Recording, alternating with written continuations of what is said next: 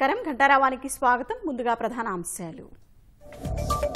తొమ్మిదో రోజు అంగన్వాడీల నిరవధిక సమ్మె. సమస్యలు పరిష్కరించే వరకు పోరు ఆగదని స్పష్టీకరణ.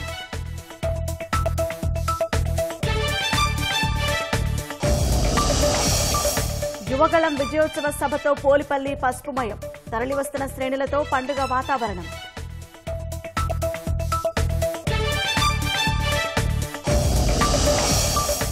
కదిరి సమీపంలో ప్రభుత్వ భూమిపై వైకాపా నేతల కన్ను. గుట్టను కబ్జా చేస్తున్నారని స్థానికుల ఆరోపణ.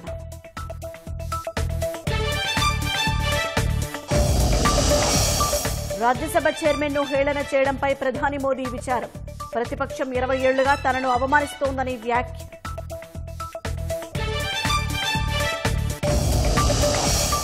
చట్టబద్దమైన డిమాండ్ లేవనెత్తితే ఎంపీలపై వేటు వేస్తారా? కేంద్రం ప్రజాస్వామ్యం గొంతు నొక్కుతోందని సోనియా ధ్వజం.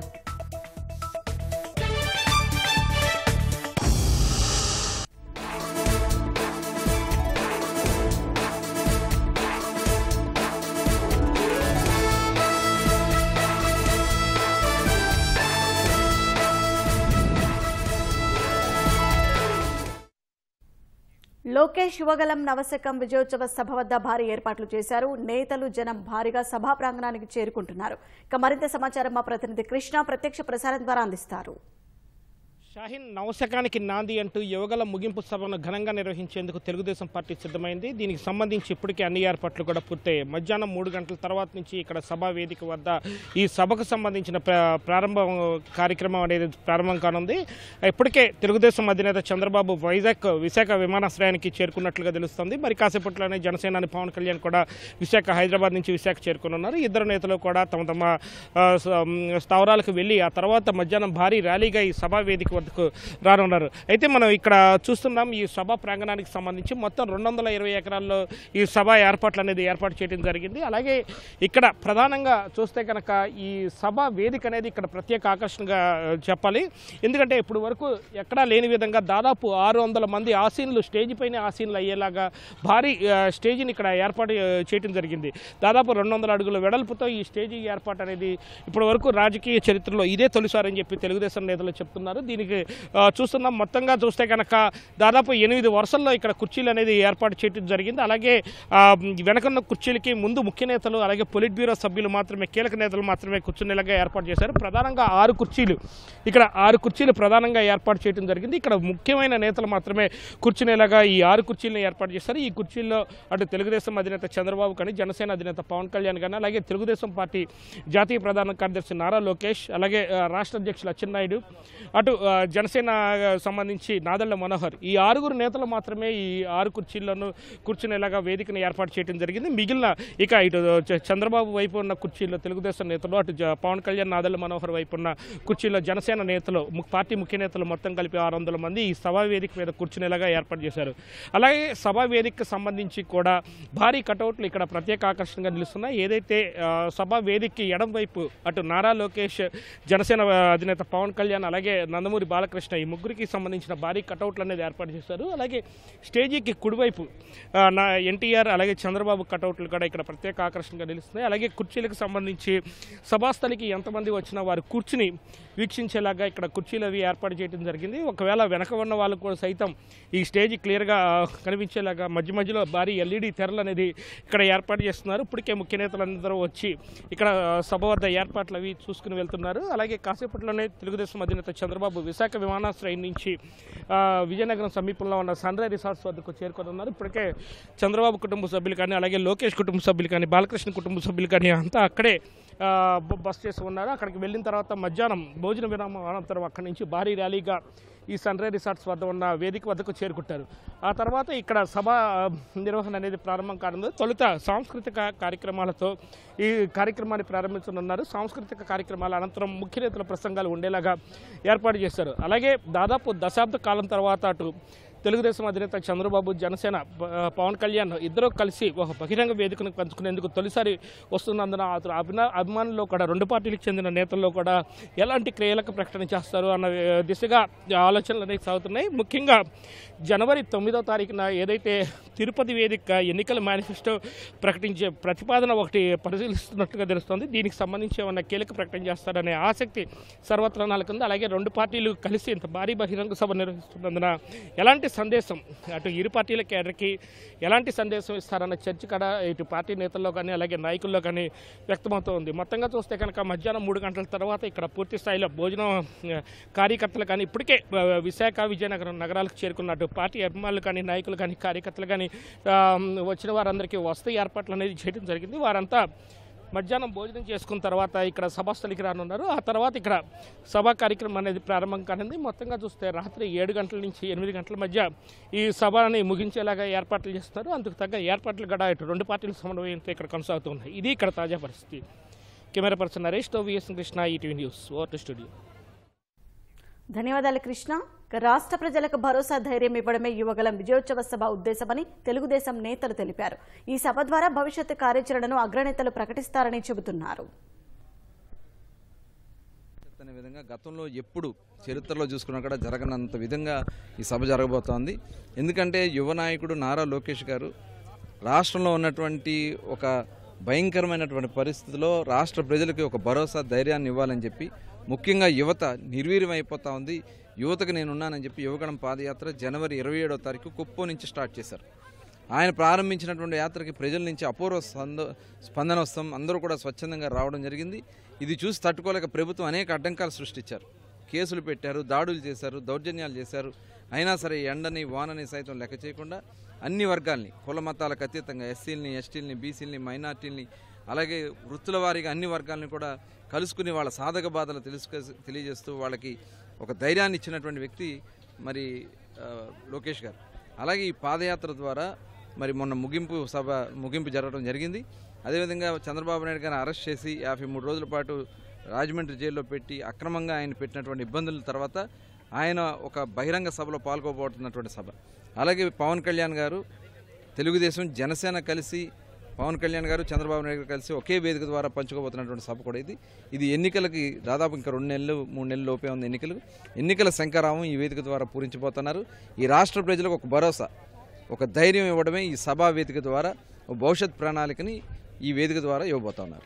ఈ యొక్క జగన్మోహన్ రెడ్డి సైకోపాల నుంచి రాష్ట్రాన్ని విముక్తు చేసేటువంటి విధంగా ఏదైతే యువగళం పాదయాత్ర మరి ఏదైతే మూడు వేల నూట ముప్పై రెండు కిలోమీటర్లు తొంభై ఏడు నియోజకవర్గాల మీదుగా రెండు వేల ఒక వంద గ్రామాల మీదుగా ఏదైతే యువగలం పాదయాత్ర జరిగి వేళ సక్సెస్ఫుల్గా మరి వేళ ఏదైతే ముగింపు సభ ఏదైతే జరుగుతుందో అందులో కూడా ప్రత్యేకంగా చారిత్రాత్మకంగా.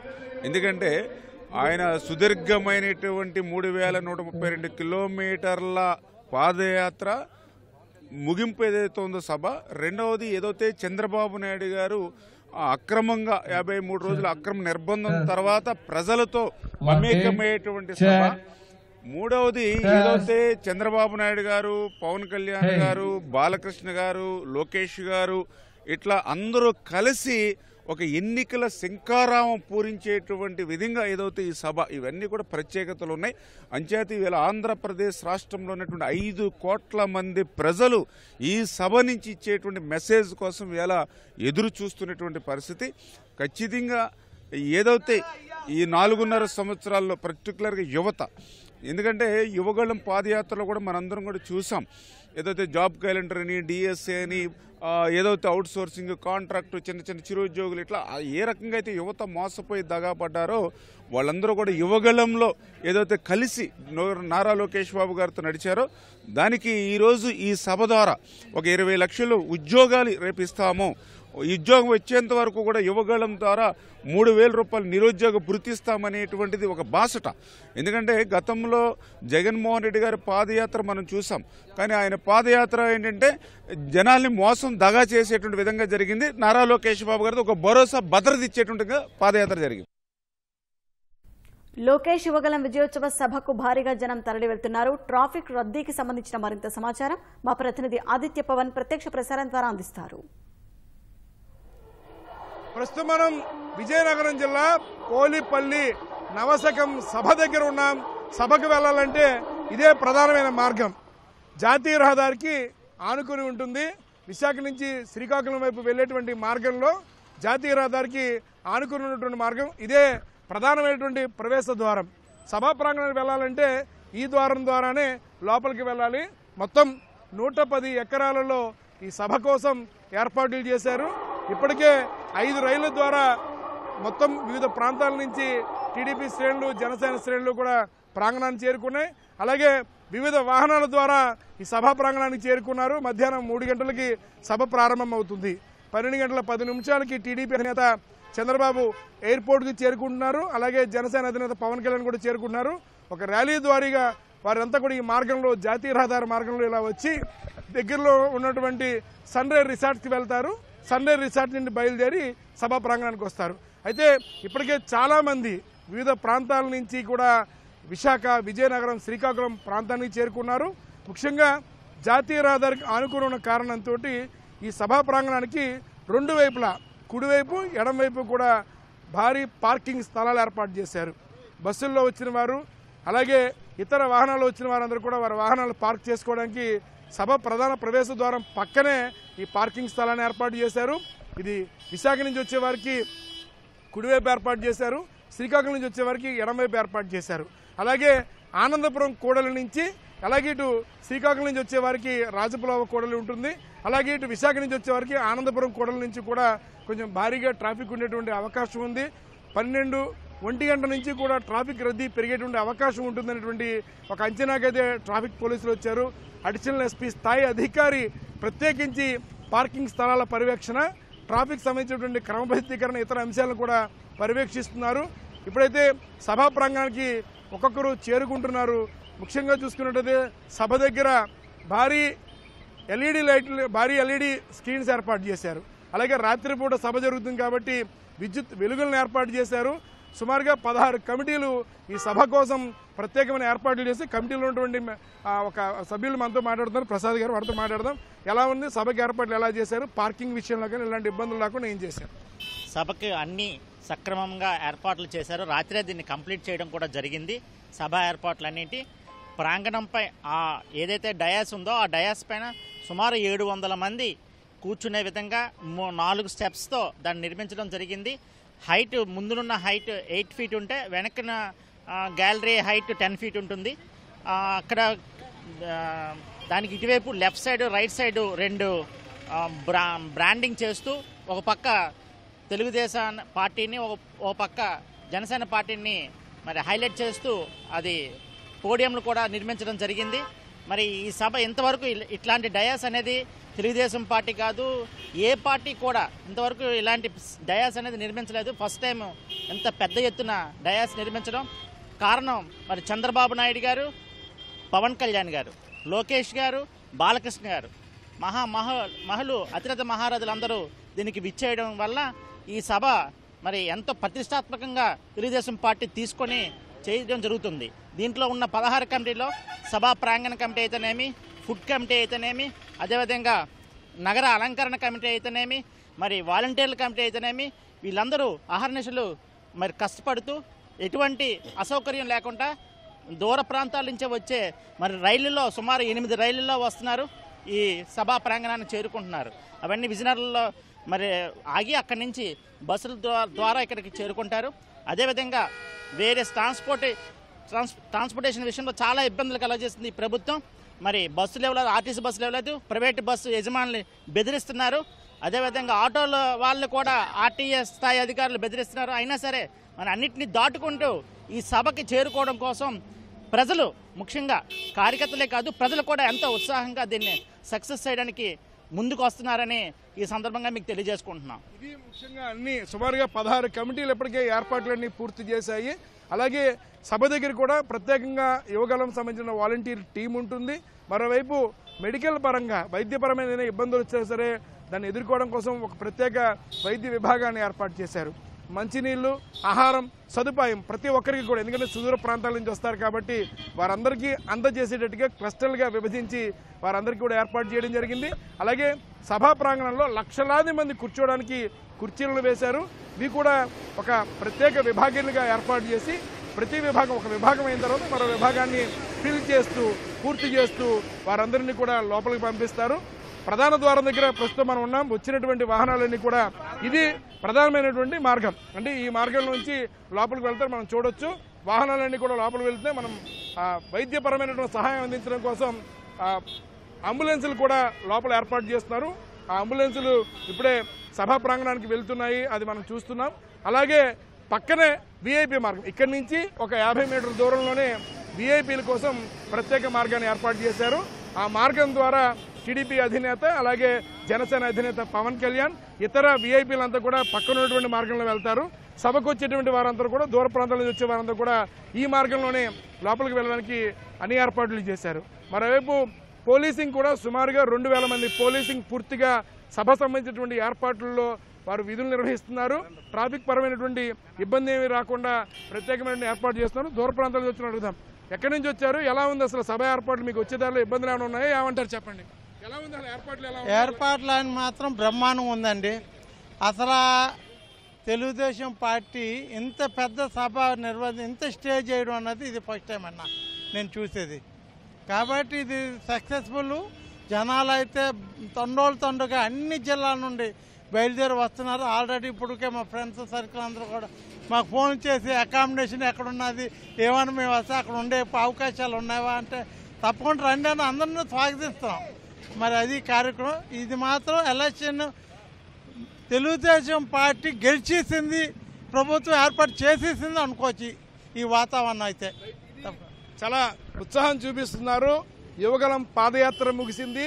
నవశకం సభతోటి వంద రోజుల్లో రానటువంటి ఎన్నికలకు ఒక శంఖారావం పూరించడానికి పార్టీ శ్రేణులు సిద్ధంగా ఉన్నాయని పార్టీ అభిమానులు చెప్తున్నారు. ఇప్పటికే చాలా మంది సుదూర ప్రాంతాల నుంచి సభా ప్రాంగణానికి చేరుకున్నారు. మధ్యాహ్నం మూడు గంటలకి సభ ప్రారంభమవుతుంది. సభ మీద టీడీపీ జనసేన చెందిన హేమాహేమీలు తమ యొక్క ప్రసంగాలతోటి వచ్చినటువంటి కార్యకర్తలకి టీడీపీ శ్రేణులకు కూడా ఒక చక్కటి సందేశాలు ఇవ్వడం కూడా సిద్ధమవుతున్నారు. కెమెరా పర్సన్ కె శ్రీనివాస్తో ఆదిత్య పవన్ పోలిపల్లి సభా ప్రాంగణం నుంచి. ధన్యవాదాలు ఆదిత్య పవన్. యువగలం విజయోత్సవ సభ చరిత్రలో లిఖించదగిన కార్యక్రమం అవుతుందని మాజీ ఎమ్మెల్యే బూరుగుపల్లి శేషారావు అన్నారు.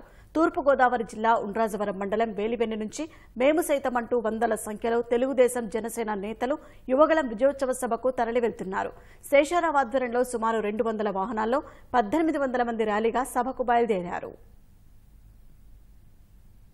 యువగళం నవశకం. ఒక శంకారావం పూరించబోతా ఉంది. రాబోయే ఎన్నికలకి శంకారావం ఈ రోజు పూరించబడతా ఉంది. ఇది చరిత్రలో లిఖించబడేటటువంటి కార్యక్రమం. పదవుల కోసమో లేకపోతే అహం కోసమో కాదు. తెలుగు వాడి యొక్క అభివృద్ధి కోసం గౌరవం కోసం ఈ ఆంధ్రప్రదేశ్ మళ్ళీ అభివృద్ధి పదం వైపు సంక్షేమం వైపు యువతకి ఉపాధి వైపు పరిగెట్టించడానికి జరిగేటటువంటి ఒక అపూర్వమైనటువంటి కార్యక్రమం ఒక శుభ పరిణామం. అందరి హోముల్లోనూ సంతోషాన్ని ఆనందాన్ని నింపేటటువంటి విధంగా నవశకం కార్యక్రమం ఉండబోతా ఉంది. కడప షిరిడిసా ఎలక్ట్రికల్స్ కంపెనీలో మూడో రోజు ఐటీ సోదాలు కొనసాగుతున్నాయి. ఇక మరింత సమాచారం మా ప్రతినిధి మురళిని అడిగి తెలుసుకుందాం. మురళి షిరిడిసా ఎలక్ట్రికల్స్ కంపెనీలో ఐటీ దాడులకు సంబంధించిన సమాచారం ఏంటి? ఆ షాహీన్ కడప శివార్లోని ముఖ్యమంత్రి జగన్మోహన్ రెడ్డి సన్నిహితుడైనటువంటి విశ్వేశ్వరరెడ్డికి సంబంధించినటువంటి షిరిడి సాయి ఎలక్ట్రికల్స్ కంపెనీలో మూడో రోజు కూడా వరుసగా ఐటీ శాఖ అధికారులు దాడులు కొనసాగిస్తున్నారు. కడప ఇండస్ట్రియల్ ఎస్టేట్ ప్రాంతంలో ఉన్నటువంటి షిరిడి సాయి ఎలక్ట్రికల్స్ ప్రధాన కార్యాలయంతో పాటు కర్మాగారంలో వరుసగా మూడో రోజు కూడా ఐటీ శాఖ అధికారులు తెలంగాణ నుంచి వచ్చినటువంటి ఐటీ శాఖ అధికారులు సోదాలు కొనసాగిస్తున్నారు. సిఆర్పీఎఫ్ పోలీసు బలగాలను బందోబస్తు పెట్టుకుని ప్రధాన కార్యాలయం అదేవిధంగా కర్మాగారము ఆ గోడౌన్ ప్రాంతంలో కూడా తనిఖీలు కొనసాగిస్తున్నారు. ఆ ఇండస్ట్రియల్ ఎస్టేట్తో పాటు కడప నగరంలోని ద్వారకా నగర్లో ఉన్నటువంటి విశ్వేశ్వరరెడ్డి సోదరుడు కరుణాకర్ రెడ్డి చిన్నపిల్లల ఆసుపత్రి అదేవిధంగా ఇంట్లో కూడా సోదాలు కొనసాగిస్తున్నారు. కీర్తి రెసిడెన్సీలో కో- కోఆపరేటివ్ కాలనీలో ఉన్నటువంటి ఆయన బంధువుల ఇళ్ళలో కూడా సోదాలు కొనసాగుతున్నాయి. మొత్తంగా మూడు ప్రాంతాల్లో వరుసగా మూడో రోజు కూడా ఐటీ శాఖ అధికారులు దాదాపు యాభై మంది ఐటీ శాఖ అధికారులు మూడు బృందాలుగా ఏర్పడి విడిపోయి ఈ మూడు ప్రాంతాల్లో కూడా దాడులు కొనసాగిస్తున్నారు. ఈ మూడు చోట్ల కూడా సిఆర్పిఎఫ్ బలగాలను కూడా బందోబస్తు పెట్టుకుని దాడు సోదాలు కొనసాగిస్తున్నటువంటి పరిస్థితి. అయితే ఇటీవల కాలంలో చూసుకున్నట్టయితే వైకాపా ప్రభుత్వం అనేకమైనటువంటి పవర్ ప్రాజెక్టులు కావచ్చు సోలార్ ప్రాజెక్టులు అదేవిధంగా విద్యుత్కు సంబంధించినటువంటి స్మార్ట్ మీటర్లను అమర్చేటువంటి బాధ్యత అన్నిటికీ కూడా సిడి సాయి ఎలక్ట్రికల్స్ కంపెనీకి వైకాపా ప్రభుత్వం అప్పగించింది. దీనిపైన రాష్ట్ర వ్యాప్తంగా కూడా ప్రతిపక్షాల నుంచి తీవ్రమైనటువంటి విమర్శలు ఆరోపణలు వచ్చాయి.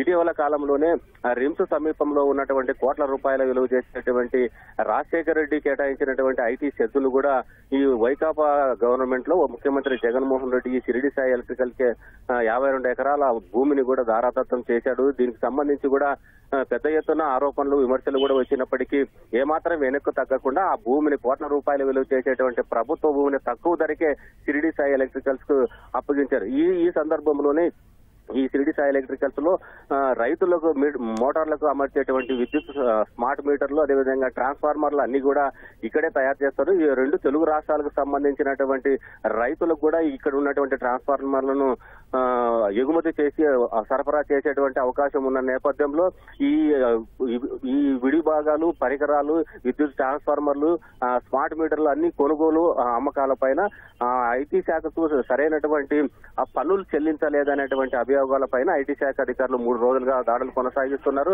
ఈ ఈ దాడుల సందర్భంగా ఇండస్ట్రియల్ ఎస్టేట్ ప్రాంతంలో ఉన్నటువంటి వాళ్ళ కంపెనీ పరిసర ప్రాంతాల్లో ప్రధాన కార్యాలయం వద్ద కూడా ఎవరిని రాకుండా ఆ కంపెనీ సిబ్బంది సెక్యూరిటీ సిబ్బంది కూడా తీవ్రమైనటువంటి ఆంక్షలు విధిస్తున్నారు. ఆ పరిసర ప్రాంతాల కిలోమీటర్ వైపు కూడా సమీపంలో ఉన్నటువంటి కర్మాగారం కార్మికులు గాని మీడియా ప్రతినిధులు గాని అటువైపు వెళ్ళకుండా భారీ స్థాయిలో దాదాపు ఇరవై నుంచి ముప్పై మంది వరకు సెక్యూరిటీ సిబ్బంది అక్కడ అక్కడ పనిచేసేటువంటి విశ్వేశ్వరరెడ్డి సిరిడి సాయి ఎలక్ట్రికల్ సంబంధించినటువంటి వాళ్ళ సిబ్బంది అందరూ కూడా ఆ రహదారులన్నిటి కూడా దిగ్బంధనం చేసి ఎవరిని కూడా ఇటువైపు రాకుండా ఆంక్షలు విధిస్తున్నారు. మీడియా ప్రతినిధులు అయితే అటువైపు వెళ్తే చాలు వారిని బెదిరించే విధంగా వాళ్ళ ప్రయత్నాలు చేస్తున్నటువంటి పరిస్థితి. అయితే మొత్తం మీద చూసుకున్నట్లయితే ఐటీ శాఖ అధికారులు ఈ రోజు రాత్రి వరకు కూడా సోదాలు కొనసాగుతాయని మనకు అధికారికంగా అనధికారికంగా సమాచారం తెలుస్తోంది.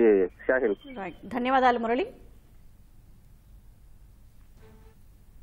నంద్యాల జిల్లా మహానంది మండలం తిమ్మాపురంలో అరటి పంటను వైకాపా నేతలు ధ్వంసం చేశారని కౌలు రైతు రమణ వాపోయారు. భూమిని మూడేళ్ళకు కౌలుకు తీసుకుని సాగు చేసుకుంటున్నట్లు రమణ తెలిపారు. యజమాని ఆ భూమిని మరొకరికి విక్రయించినట్లు తెలిపారు. భూమి కొనుగోలు చేసిన వారు అనుచరులతో కలిసి వచ్చి అరటి తోటను నరికివేసినట్లు కౌలు రైతు వాపోయారు. వైకాపా నేతలు తమ పంటను ధ్వంసం చేశారని బాధితుడు ఆవేదన వ్యక్తం చేస్తున్నారు.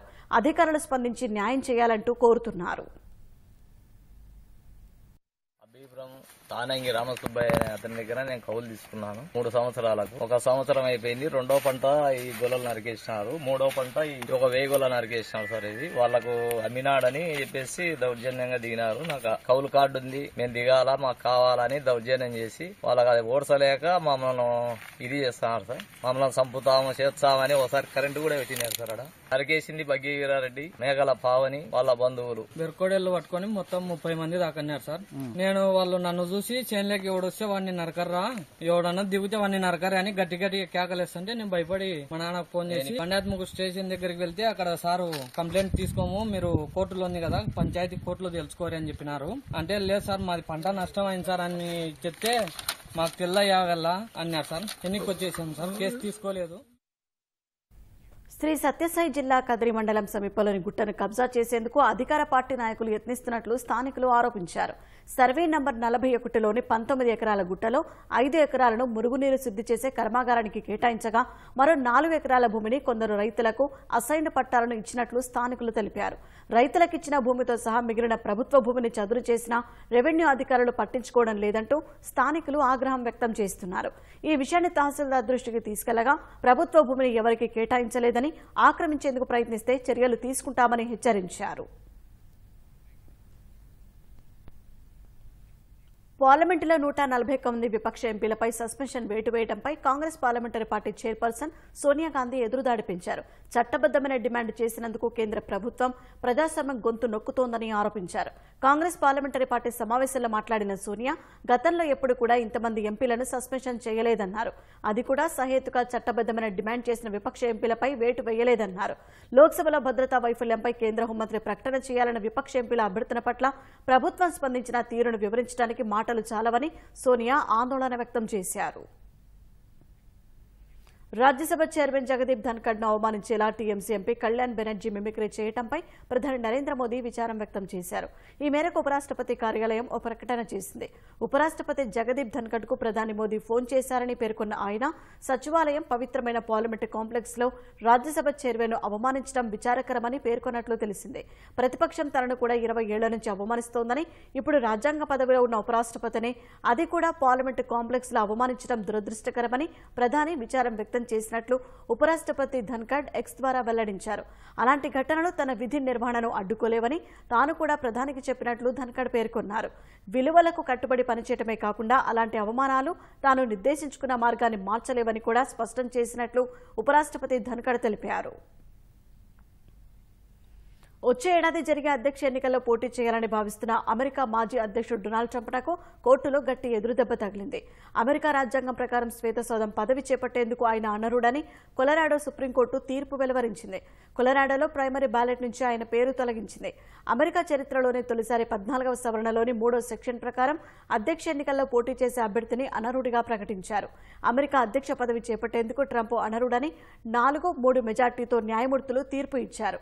తిరుగుబాటు చర్యలకు పాల్పడిన వారు రాజ్యాంగ పదవుల్లో ఉండేందుకు అడరులని అమెరికా రాజ్యాంగంలో నిబంధన ఉంది.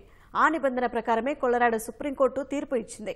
ఈ నేపథ్యంలో రిపబ్లిక్ పార్టీ తరపున అధ్యక్ష అభ్యర్థిగా ముందు వరుసలో ఉన్న ట్రంప్ భవితను అమెరికా సుప్రీంకోర్టు తేల్చనుంది. కొలరాడో కోర్టు తన తీర్పుపై జనవరి నాలుగు లేదా సుప్రీంకోర్టు తీర్పు ఇచ్చే వరకు స్టే విధించింది.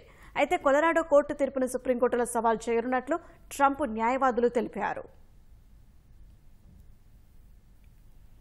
కొలరాడో సుప్రీంకోర్టు తీర్పు నేపథ్యంలో అమెరికా మాజీ అధ్యక్షుడు డొనాల్డ్ ట్రంప్నకు రిపబ్లికన్ పార్టీ తరపున అధ్యక్ష అభ్యర్థిత్వం ఆశిస్తున్న వివేక్ రామస్వామి మద్దతు ప్రకటించారు. కొలరాడో బ్యాలెట్లో ట్రంప్ పేరు చేర్చుకుంటే తాను కూడా అక్కడి ప్రైమరీ ఎన్నికల బరి నుంచి తప్పుకుంటారని హెచ్చరించారు. అమెరికా క్యాపిటల్ భవనంపై దాడి కేసులో ట్రంప్ ప్రమేయ నేపథ్యంలో అధ్యక్ష పదవికి ఆయన అనరుడంటూ కొలరాడో సుప్రీంకోర్టు తీర్పు ఇచ్చిన కొన్ని గంటల తర్వాత వివేక్ రామస్వామి ఈ వ్యాఖ్యలు చేశారు.